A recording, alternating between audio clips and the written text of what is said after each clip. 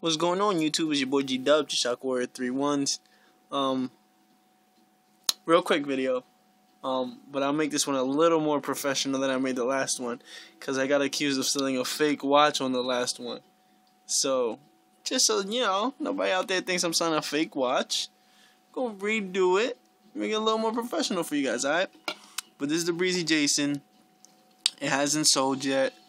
Um, but it's still for sale. This is my Surfrider. They're both for sale. All right, something came up. This I just have to pay SJ for SJ back for some money I owe him. My bad, SJ. That's my fault. I got you though. And this something came up, so I'm trying to let it go. All right, but I'm get, I'm I'm making it cheap for you guys. This 90 shipped gift on PayPal. If you trust me, if you don't trust me, just make it 95. And it's in perfect condition. I think I my brother wore it like once. There's nothing wrong with it. But 95 if payment through see and, and there's a retail value from Zumiez. That was my phone, my bad. I forgot to put it on silent. But there's a retail value. I don't believe me. There's nothing wrong with the piece. 95 um, on PayPal. If it's a purchase, 90. If it's a gift, and I'll have it shipped the next day. Promise you have my word. I'll give tracking information and everything. And then this is the Surfrider. I got from Danny. I wore this like two times tops, and it was brand new from Danny. So you know ain't nothing even wrong with this piece either. But um, beautiful, beautiful watch. I hate to let it go, but I have to pay for something.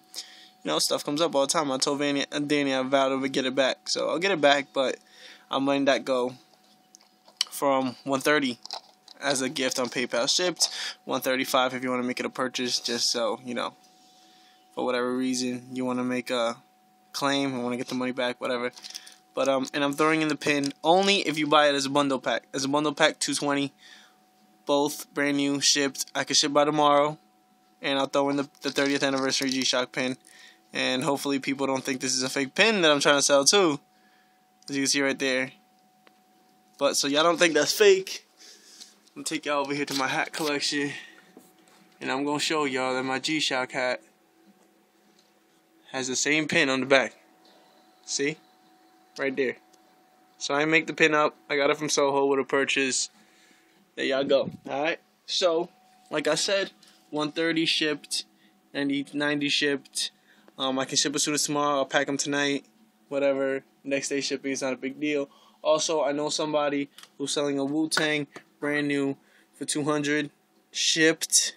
Let me know if you guys need that. I'll put you in touch with them. And a New Era, New Era 6900, 150 shipped. Again, it's that dude. So both both of us were trustworthy people. If you haven't bought from us, this could be a good way for you to test it out.